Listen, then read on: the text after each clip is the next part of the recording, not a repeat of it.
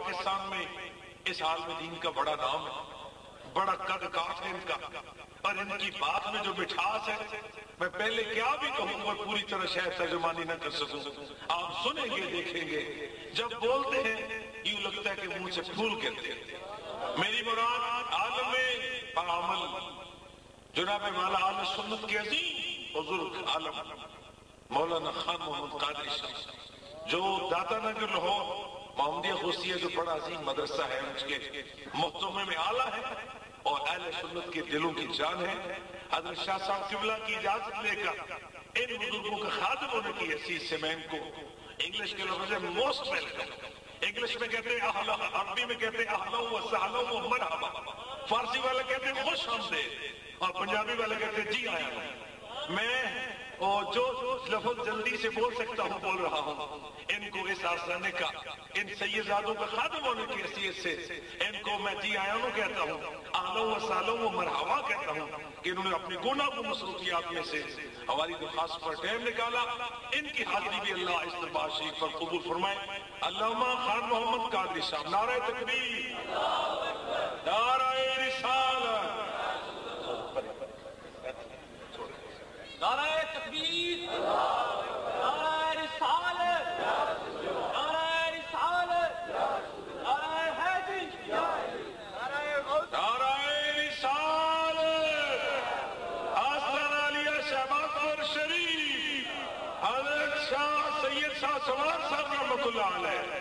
साहब साहबजादा सैयद बद्र मुहैयुद्दीन शाह साहब।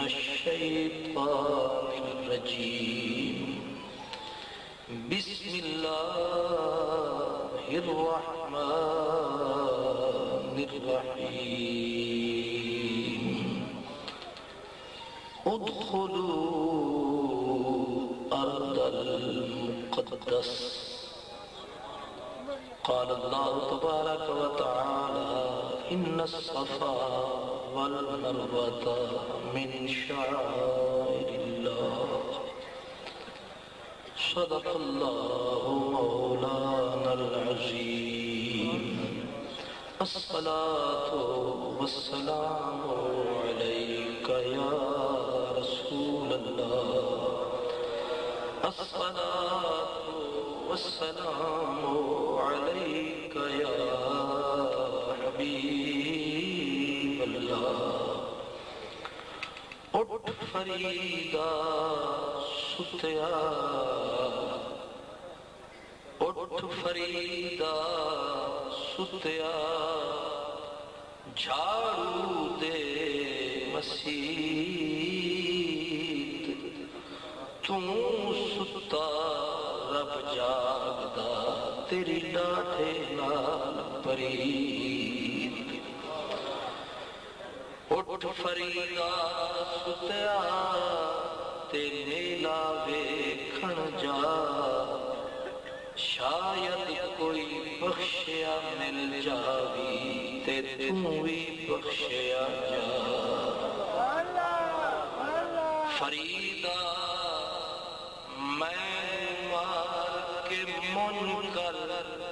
निकी करके कुट फरीदा मैं मार के मुन कर निकी करके कुट भरे खजाने रब दे यूँ दिल आखी तू लुट।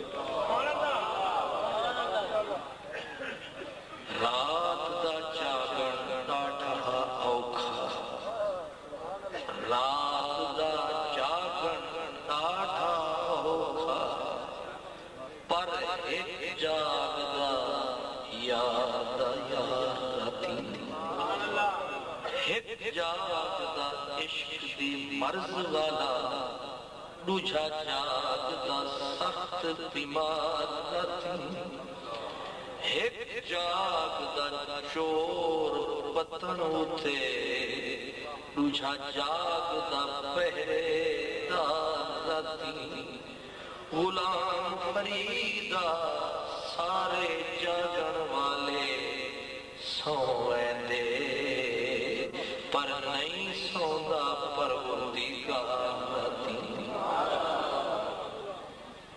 हज़रत गिरामी, साहिब सदर गिरामी कदर, इज़्ज़त माब फखर सादात मखदूम मोहतरम हज़रत किबला पीरजादा सैयद बदर मोहुद्दीन शाह साहब दामद बरकत को बुला लिया मेरे नहायत ही आली कदर उलमाए किराम, किबला कारी मोहम्मद याकूब कादरी साहब ने मुझे वेलकम मोस्ट वेलकम आहलन व सहलन लेकिन वो ये गए कि पठान कहते हैं पखैर आगले तो पखैर आगले उन्होंने फरमाया तो उन्होंने जो कुछ फरमाया, अल्हम्दुलिल्लाह हमने वसूल किया। आप बुलाए, हम ना आए, ऐसे भी हालात नहीं। बहरहाल।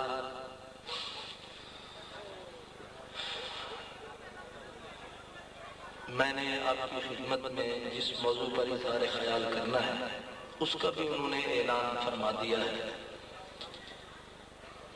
बरदरान इस्लाम, अल्लाह ताला ने कुरान हकीम में इरशाद फरमाया कि सफ़ा और मरवा दो पत्थरों से बनी पहाड़ियाँ हैं। छोटे छोटे पहाड़ हैं। और ये पहाड़ काबा शरीफ के हमसाए हैं। जब कोई हाजी जाता है, काबे का तवाफ फरमाता है, दो रकात मकाम इब्राहिम के सामने अदा करने के बाद सीधा सफ़ा और मरवा पे जाता है। सफ़ा से वो साई दौड़ शुरू करता है मरवा की तरफ़। उधर से भागता है, इधर। इसी चक्कर को कहते हैं कि ये साई कर रहा है, उमरा हो रहा है, हज हो रहा है। अब ये पत्थर, ये पहाड़ क्या है? अल्लाह फरमाता है इन सफ़ा वल मरवा ये पहाड़, ये पत्थर अल्लाह की निशानियाँ हैं। निशानी किसको कहते हैं? शायर शायरा किसको कहते हैं? आप हजरात जब जलालपुर जट्टा तशरीफ़ लाते हैं तो आप इस रोड पे शहबाजपुर वाले रोड की तरफ़ तकते हैं। अगर तौफीक ने बल्दिया को तो वो एक बोर्ड लगा दे और बोर्ड पे तीर का निशान बना दे कि शहबाजपुर इधर है।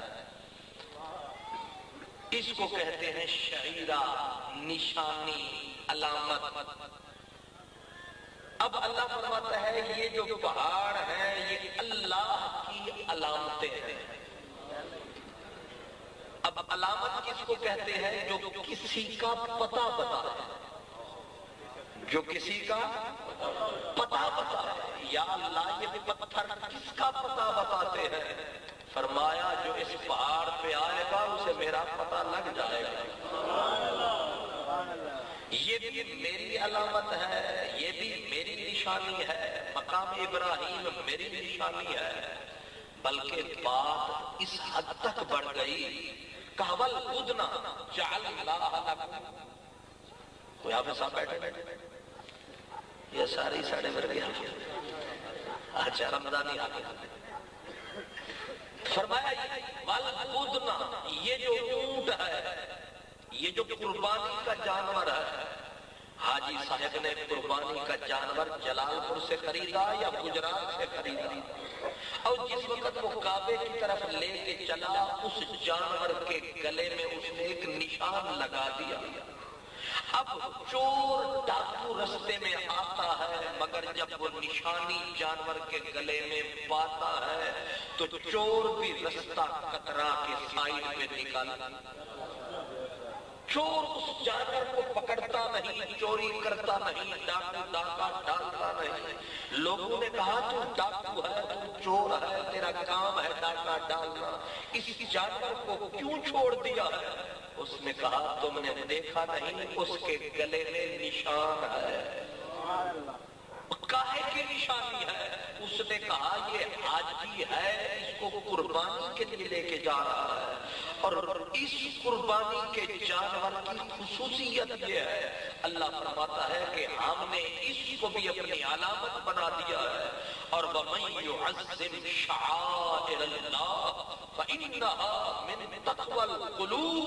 जो अल्लाह की अलामत की ताजीम करता है, एहतराम करता है, वो दिल का परहेजगार है, वो अंदर का परहेजगार है, वो मन का परहेजगार है।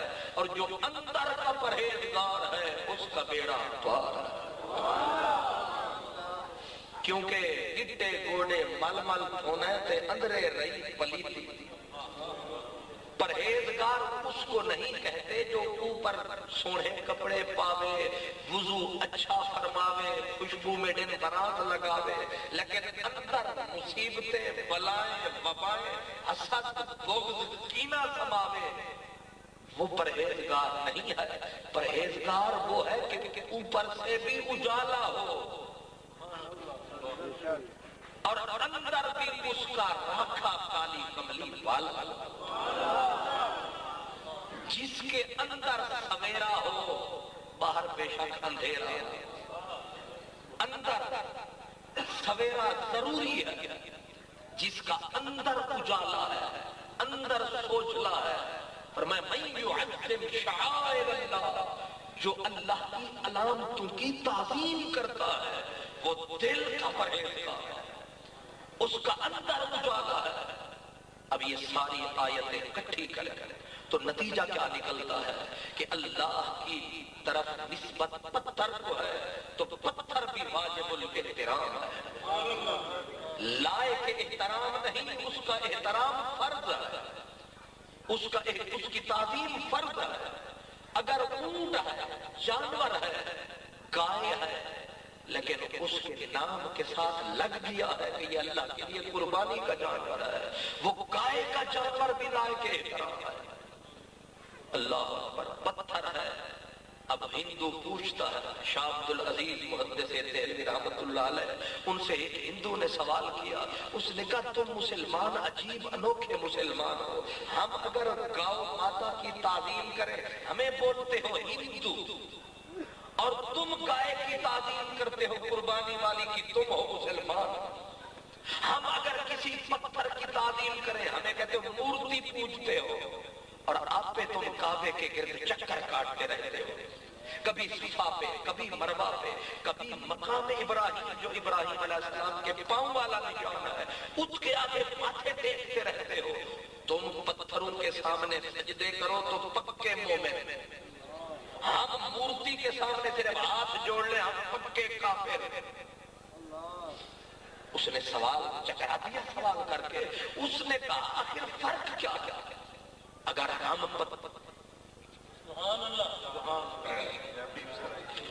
माशाल्लाह, आप जरा रास्ता तो सीधा हो लेने दें।